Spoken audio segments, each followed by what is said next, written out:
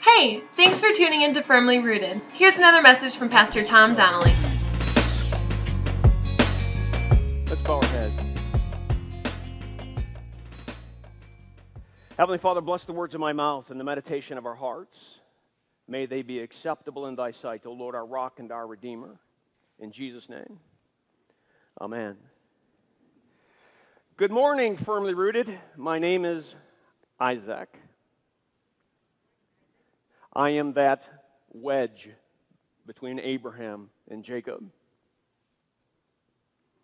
Your sermon theme for today finding the sacred in our everyday lives. I'm the right one to speak today. They call me a patriarch. Abraham, Isaac, and Jacob. My life was pretty normal. There aren't chapters and chapters in your book of Genesis covering me. Not like Abraham. Not like my son Jacob. So, you sometimes probably wonder in this pursuit of the sacred whether it could ever happen in your life. Is it possible that God would care about you enough to drop into your life and make a difference? It's always got to be somebody else's life. I'm with you. I get it. And sometimes this life can be so hard at times, it's tough to see where God is. So, except for the fact that my mom would tell me that I'm a miracle baby, I mean, she was like 100 when I was born. I struggle to find anything special. I struggle to find the sacred. You met me last week. I was 40 years old and I am in an arranged marriage. My wife got delivered to me. Her name was Rebecca. Man, I love her. I love her. Did I say I was 40 when I got married? I was 40. She and I wanted children.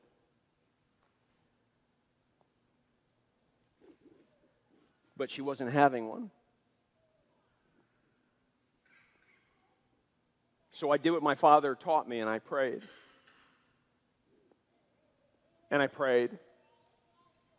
And I prayed. And I prayed.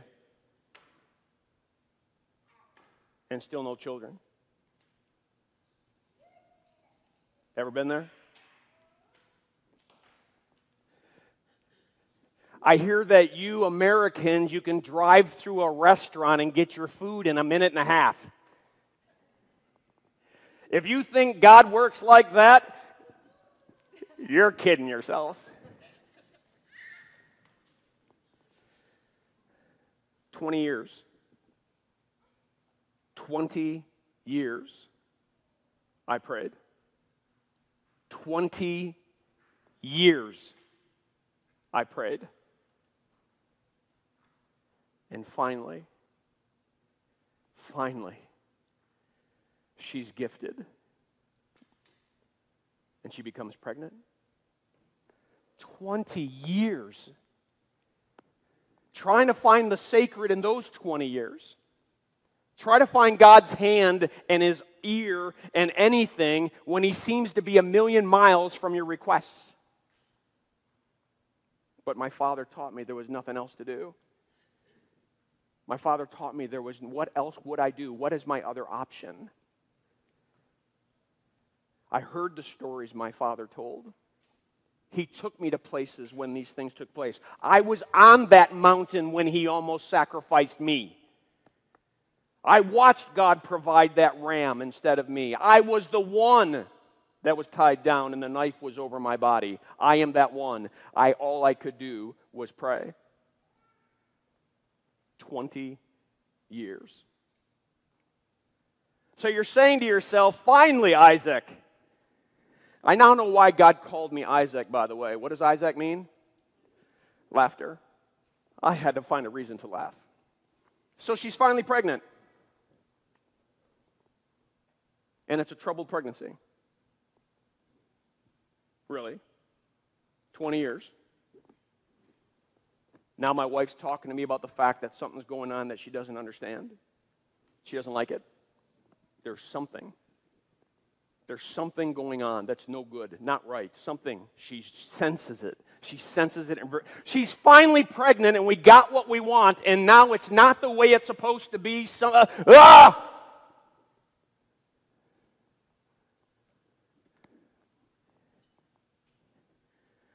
I thought, I thought I had saw the sacred until she shared that with me.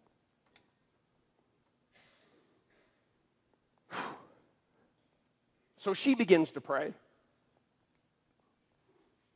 Lord, what's going on inside of me? I've talked to all the women who have had kids before, and none of them are experiencing what I'm experiencing. None of them.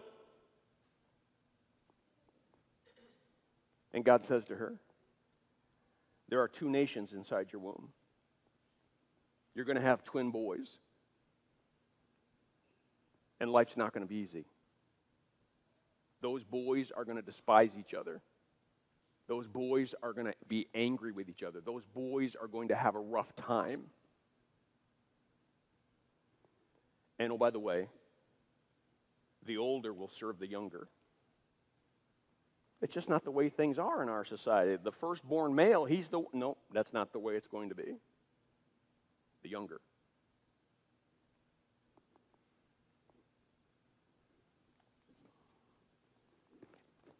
Any of you with me?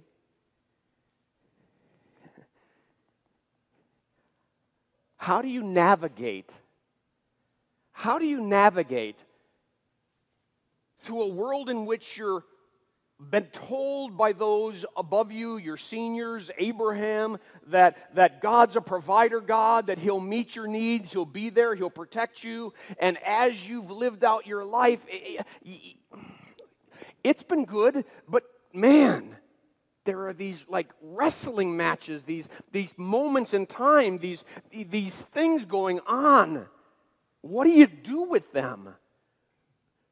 Where do you place the puzzle piece?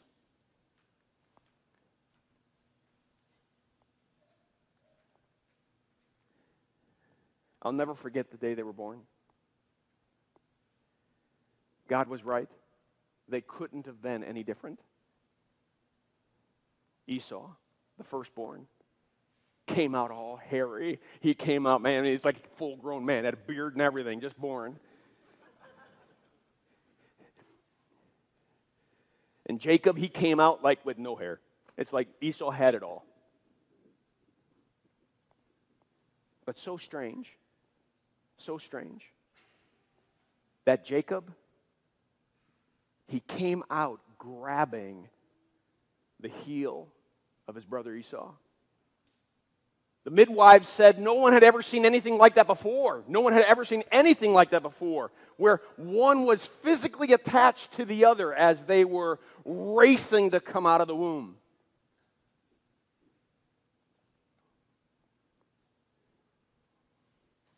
My wife told me about her conversation with God. I remembered in the back of my mind this idea that the younger would, would be served by the older. But can I tell you something? Esau was my favorite. I loved Esau. He was like a man after my own heart. Jacob was a mama's boy. I had trouble loving Jacob. I know they're both mine.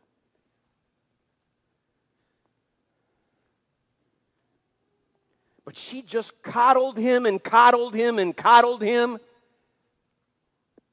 She never listened to me. I knew what that kid needed.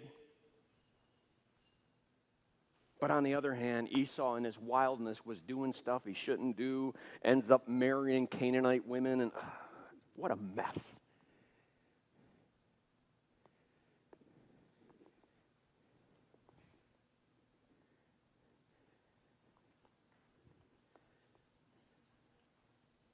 I I wonder if you've got anything going on in your lives that's at all similar. Where relationships that you thought were supposed to be a blessing are not, where, where you thought you were going to have some type of physical healing, there's not, where you thought something was going to be improved or better, it's not.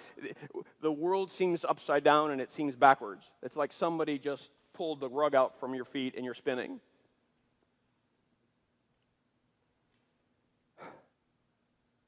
These boys, they bickered and bickered and fought all the time.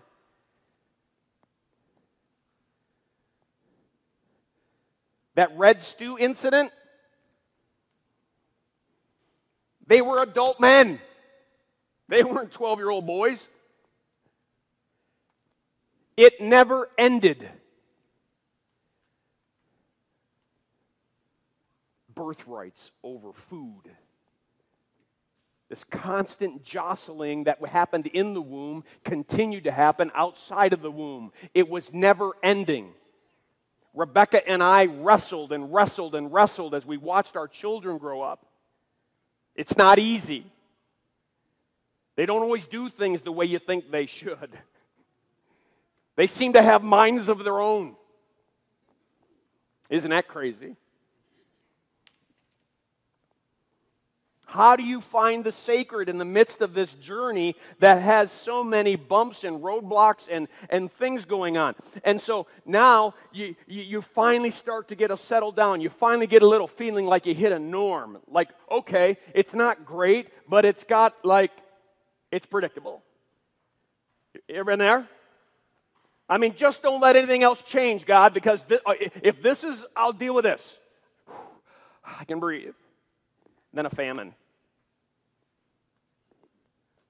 If you're God's chosen people, why would you be put through a famine? I've got children, I've got a wife, and I got all these servants, and I got all these animals, and the crops are all dying, and now God says you got to leave. You got to leave your comfort zone. You got to move over here. So we got to move over here. Where does He send me? He sends me to Gerar. You guys remember Abimelech? My dad met Abimelech. Remember Abimelech? That's when my dad said that Sarah was his sister. Remember that one? Yeah, I couldn't resist. I did the same thing. Yeah, I did. Again. I mean, I told myself all the way there, I'm not going to do what my dad did. I'm not going to do what my dad did. I'm not going to do what my dad did. And guess what? I do what my dad did. I called my wife, Rebecca, my sister. Until one day Abimelech looked down and saw that I was expressing affection to my sister and said, Hey, what's going on with you? And he said, That's my wife. And at least God made Abimelech smart enough not to do the same thing twice.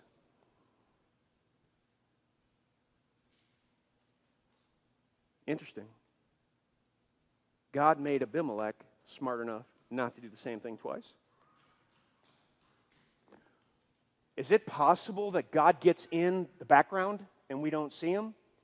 Is it possible that he's there but we don't see him? Is it possible that the sacred is happening even in the midst of the difficulties of our lives? Is it possible that God is there? For the first time, I began to realize that's not what Abimelech did with my dad. My Abimelech took my dad's wife, Sarah, to be his wife.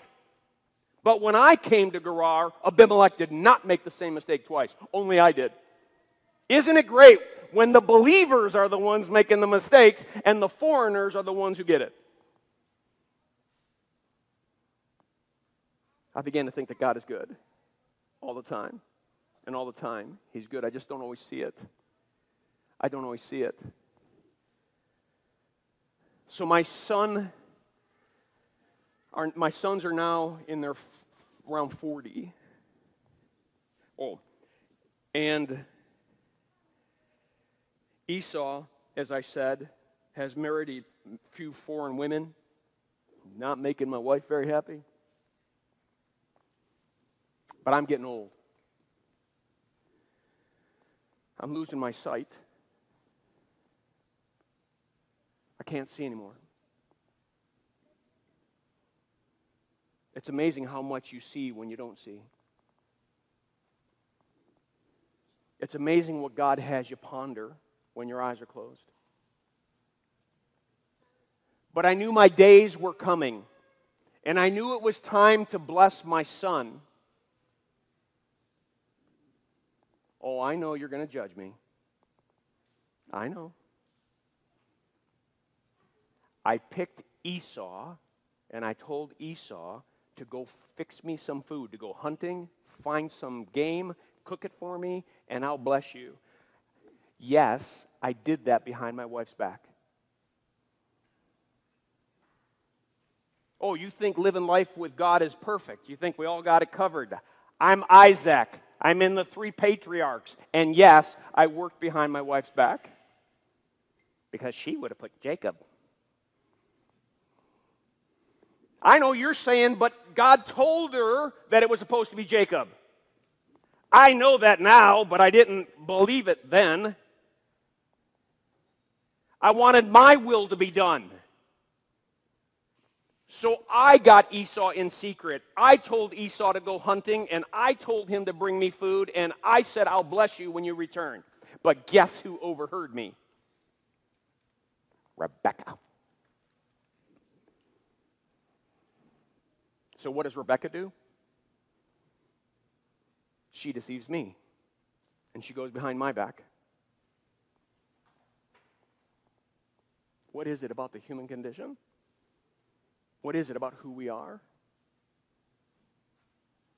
Here we are, God's people. Here we are, God's people, and we're fumbling and we're stumbling through life. I mean, we're literally throwing each under the bus in our latter years of life because we want our will to be done. So while Esau's out hunting, Rebecca conspires this plan. She goes and gets a couple goats. She takes the skins off the goats and she ties them onto Jacob's arms and around his neck, and she makes him hairy. Then she takes some of Esau's clothes and she puts the clothes on Jacob. And Jacob's going, Ma, I don't think we should do this because dad's going to curse me, not bless me, if he figures this out. And she says, You just listen to me. I'm going to get my will done. By hell or high water, you're going to get this blessing today.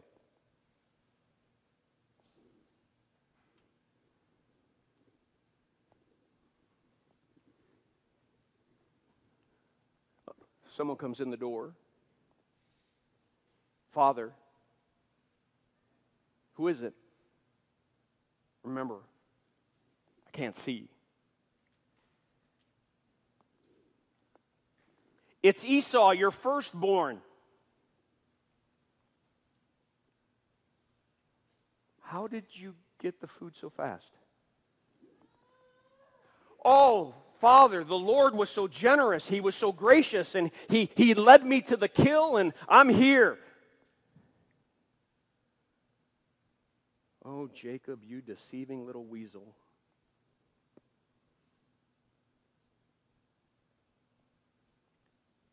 You lied to your father's face. Have you ever lied to your father's face? Don't have to answer. I know. So does he. I just want you to realize can you relate to my life? If you can relate to my life, then you got to realize that God and the sacred lives in you just as He lives in me. Because this sermon is not about denying the sacred, it's about the fact that He can be and is sacred even in my stupidity. Even in my stumbling walk with Him, God is good all the time. And so, my son, I say to him, Are, Come close. Come close so I can touch you. When I touched him, I could feel the hair. I had no idea it was goat's hair. I even said to him, I even said, You have the voice of Jacob, but you feel like Esau. Are you really Esau? I am.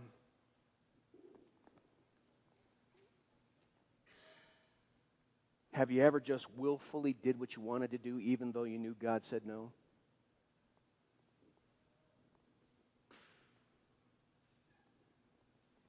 I have. too often. Tom Donnelly. And so is Isaac.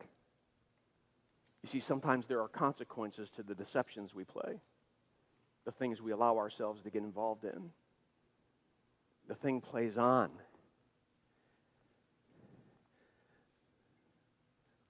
Come here, give me a kiss. Ever been betrayed by a kiss? Jesus was betrayed, betrayed by a kiss. Come here and kiss me. And when Jacob kissed me, I smelled the clothes of Esau, and I was certain it was him. So I blessed him. I blessed him as the firstborn. I blessed him with the blessing of God. I blessed him with the very words, now that I think about it, the very words that God told Rebekah were the words that came out of my mouth as I told Jacob that his brothers would serve him and that he would rule them and that he would be greatly blessed and he would bless many. And I blessed him. I blessed Esau, but it was Jacob. It wasn't 45 minutes and another knock on the door. Who is it? It's your son Esau. I've come back from catching the game and I've cooked it and I've prepared it. And so, Father, eat and drink and bless me. And the Hebrew says that Isaac trembled. He physically trembled in his bed.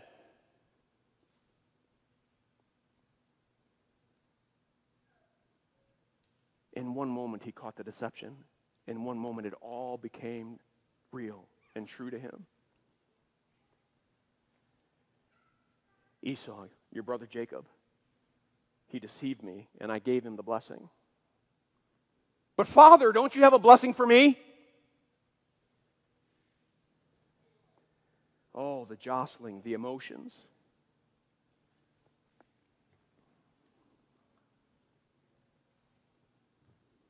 Esau wants to kill Jacob.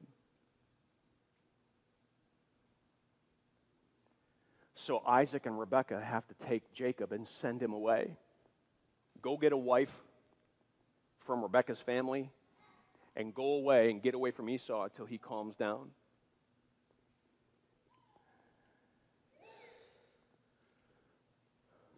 I'm no longer Isaac. I'm Pastor Tom Donnelly.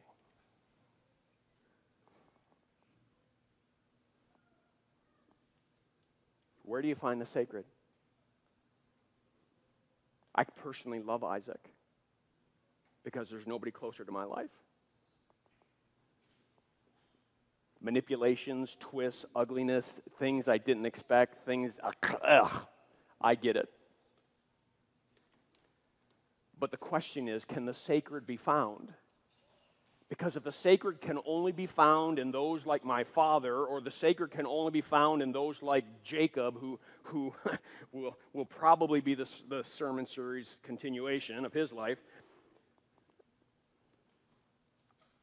I come to realize that the sacred can be experienced even in the average mundane life.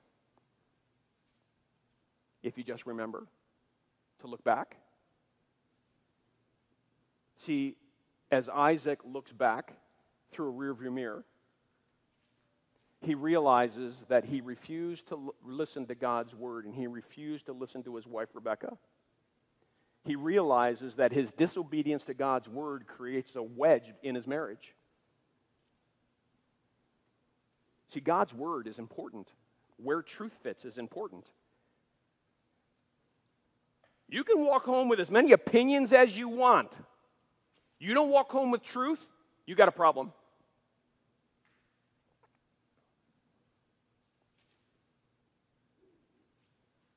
The sacred, first and foremost, is found in a God who is faithful and true.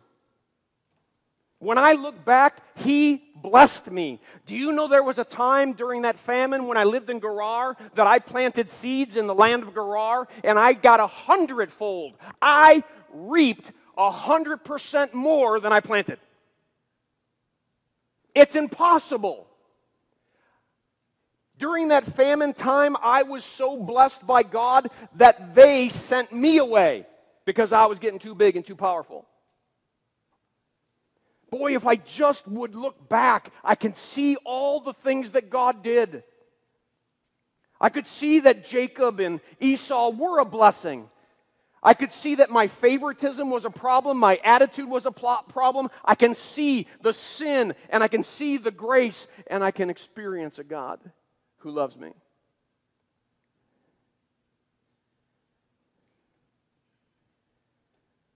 With Abraham, my father, I celebrated the day of Jesus. You see, I needed him too. I needed a Savior God. I needed a God who would redeem me, who would bear my sins, who would set me free, who would take all the ugliness and the pain and the hurt and somehow make it all work out to the good for those who love him. Brothers and sisters, you have a good, good father. And I know that the road's not easy, but God can make it good. Have to stay close to the truth. You have to be firmly rooted in God's word. You have to be disciplined to hear the prompting of the spirit. You have to be you have to listen. You have to surrender your human reason to the movement of the spirit. You have to listen to the new man in you. The spirit is talking to the new man in you and you need to listen. I said this in bible class today. Either your faith your new man or your reason is going to rule you pick Isaac too often picked this to rule instead of this. If Isaac could do it over again, he would do a few things different. So would you. So would I. Let me leave you with this.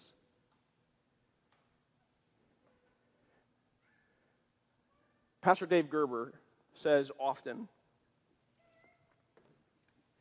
God loves you so immensely and so passionately that there is nothing that you can do today to make him love you any less. But, but what about the flub ups? He still loves you. Not one bit less, not one bit degraded.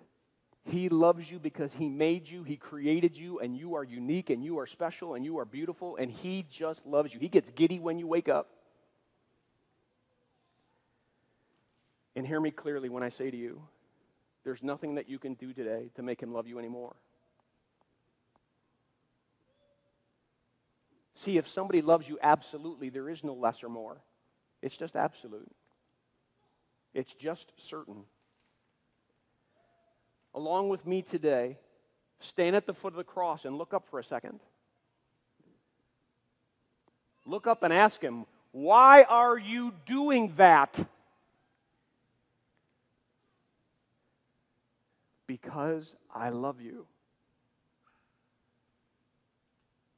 And may that be your sacred moment today. That you look at a dying Savior expending every bit of his love for you and for me. In Jesus' name, amen. Thanks for tuning in. For more messages and teachings, visit our website at www.firmlyrooted.org.